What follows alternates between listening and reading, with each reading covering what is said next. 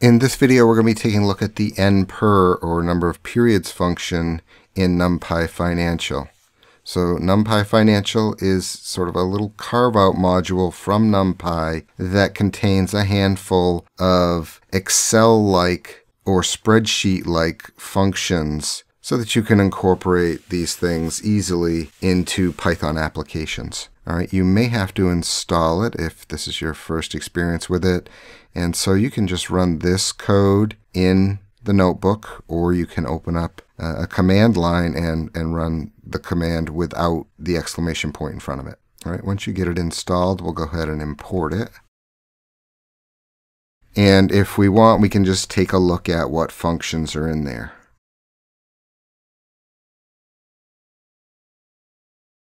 Okay, so as mentioned, pretty small, right? Just a handful of functions. And if you are familiar with any of these in Excel, then these names will look familiar.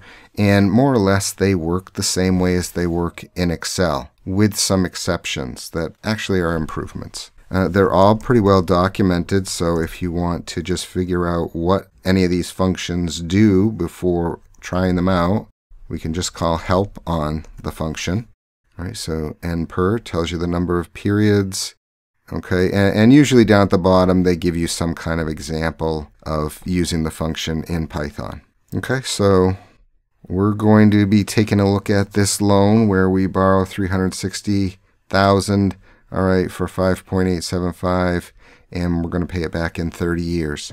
All right, so what we want to do is see, well, how much time can we save on this 30 year period uh, by paying a little bit extra every month. And then uh, we could also take a look at uh, how much do we have to add uh, to pay it off in some specified amount of time. So say 10 years or 12 years or something like that.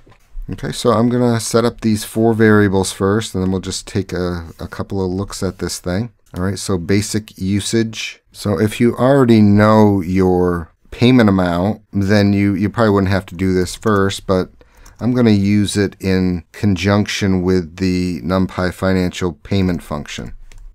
All right, so this calculates the loan payment every month. And it's going to take an interest rate and we're going to have to convert it to, first of all, this is a whole number. So uh, we're going to have to convert it to a percent and then the periodicity of the loan payment. So that's 12 per year. So I'm going to divide the whole thing by 1200. All right, the term is similar, right? It's expressed in years here. I'm going to multiply that by 12. Okay, and then it wants the loan amount as the only other required argument. And by convention, we generally make the present value, in this case the loan amount, negative so that the payment comes back as positive. All right, and then we'll just run that and see that, okay, uh, if we do this, it's going to be 21 29 you know, essentially $2,130 a month. And then uh, we can start playing around with this and uh, look at what happens to the periods, this term, if we add something to the payment every month. All right, so as a baseline, we'll just sort of take a look at, well, what happens if we run num_per and per on this payment all right, again, it wants a rate. So basically what we're doing is instead of, uh, instead of calculating the payment, right, we have the payment and we're going to calculate this term with n per. All right, so it takes the same arguments uh, except for term, right? So we still need the loan amount here.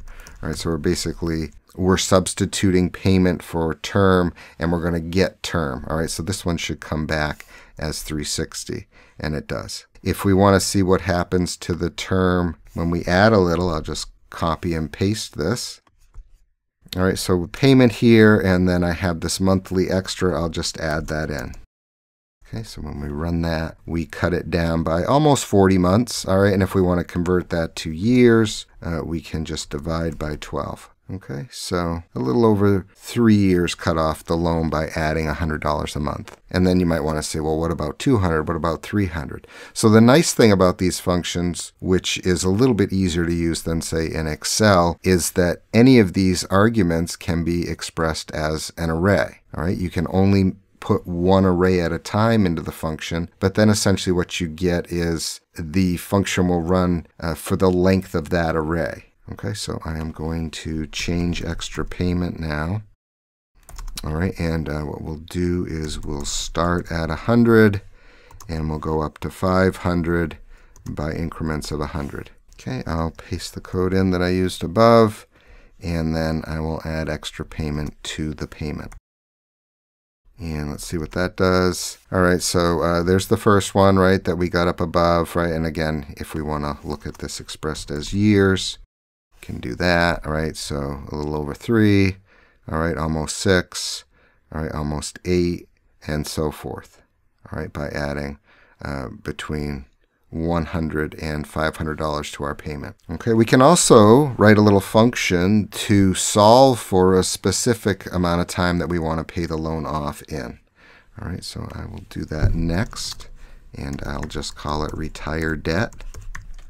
And uh, we're going to have to pass in all the requirements, right? So we're going to need our rate, our term, the loan amount, and then we'll add this uh, final variable, which is going to be years to retire. And if we want, we can just sort of pass in a default value there and just say 10. If we run this function, and uh, at least we pass in the rate, the term, the loan amount. It'll tell us uh, how much the payment's going to be if we want to retire the debt in 10 years. So uh, first thing I'm going to do is convert my rate.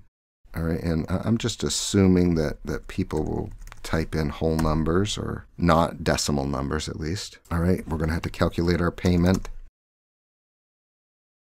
All right, and then we're going to set a variable, just a local variable here and uh, I'll start at a dollar. All right, not much chance it's going to be a dollar. All right, but uh, you know, just to get a, a, bit of precision here, I'm going to get within a dollar of the uh, payment amount that we need to retire the debt in 10 years. Okay, if you want to get within five, right, we could change it to five. All right, so then what I'm going to do is just keep running a loop until the period n per divided by 12 is 10 or close to 10.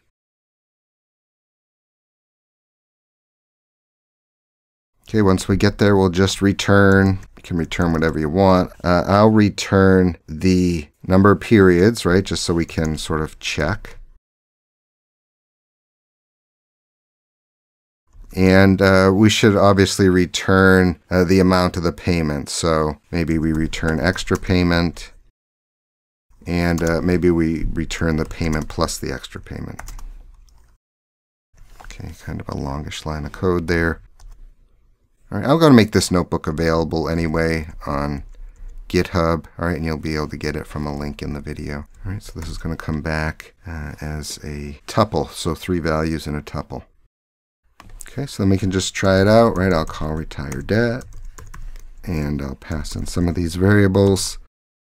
And so you can see, yep, it's coming back as just about 10 years, okay, a little bit under. All right, we'd have to add 1845 to our 2130-ish that the base payment was, all right, and then the total payment, right, almost 4000 a month to get it done in in 10 years, all right? Let's let's see what happens if we want to get it done in 9 years. Okay, so uh, yeah, about an extra uh, 300 over $300 and uh, we get it done in, in nine years. Okay, so I hope that helps get started with the NumPy Financial N per function.